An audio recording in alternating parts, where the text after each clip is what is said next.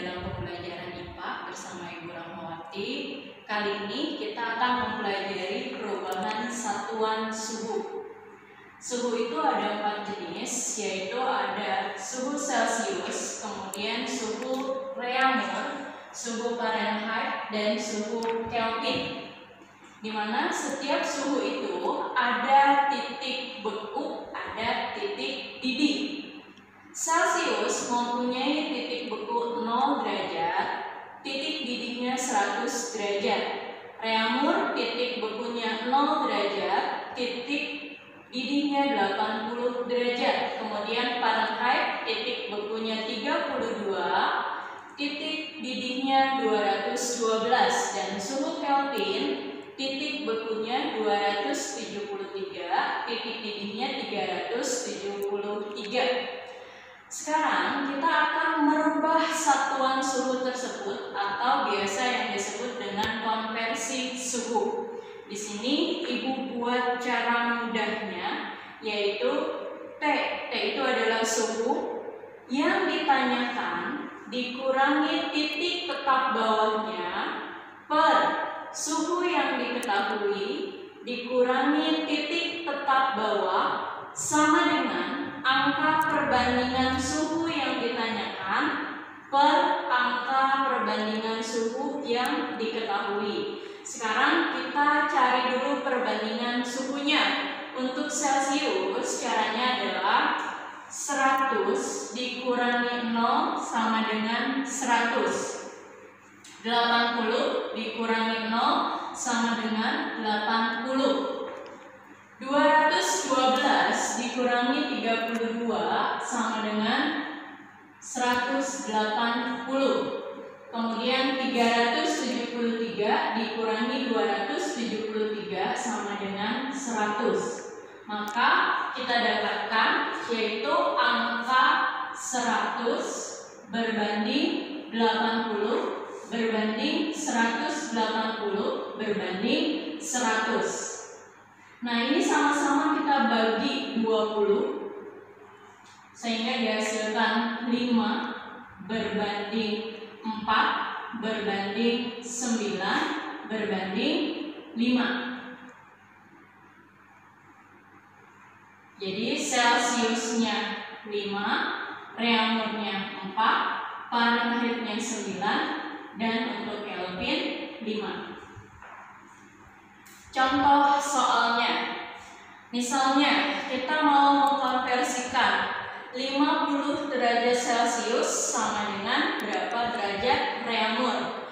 Kita lihat di sini suhu yang ditanyakan. Yang ditanyakan maka Reaumur, maka Reaumur dikurang titik tetap bawahnya yaitu 0 per yang diketahui yaitu Celsius. Celsiusnya diketahui sama dengan 50 dikurang 0 sama dengan angka perbandingan yang ditanyakan. Angka perbandingan dari Reaumur adalah 4 per angka perbandingan yang diketahui. Yang diketahui adalah Celsius, angka perbandingannya 5. Maka kita dapatkan R dikurangi 0 adalah R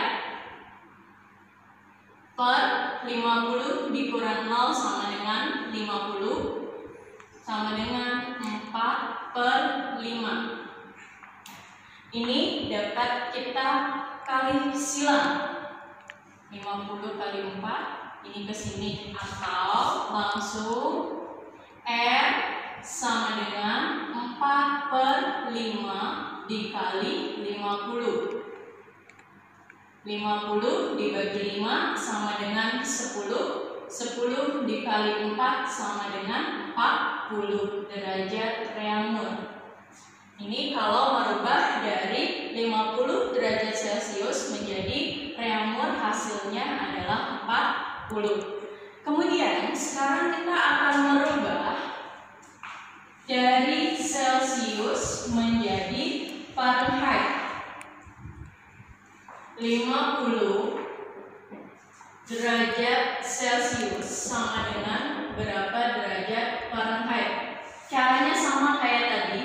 Suhu yang ditanyakan, yang ditanyakan adalah Fahrenheit F dikurangi titik tetap bawah dari Fahrenheit adalah 32 per titik suhu yang diketahui. Suhu yang diketahui adalah Celsius 50 dikurang titik tetap bawah dari Celcius adalah 0 sama dengan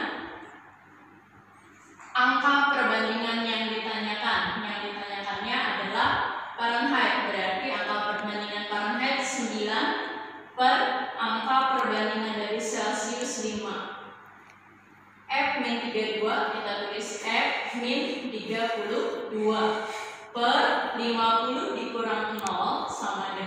50 sama dengan 9 per 5 F min 32 sama dengan 9 per 5 ini pindah ke sini dikali dikali 50 sama dengan 50 dibagi 5 sama dengan 10 10 dikali 9 sama dengan 90 angka 32 di sini negatif ketika dia pindah ruas jadi positif 90 ditambah 32 0 ditambah 2 di sini 2 kemudian 9 ditambah 3 adalah 12 jadi hasilnya 122 derajat Fahrenheit.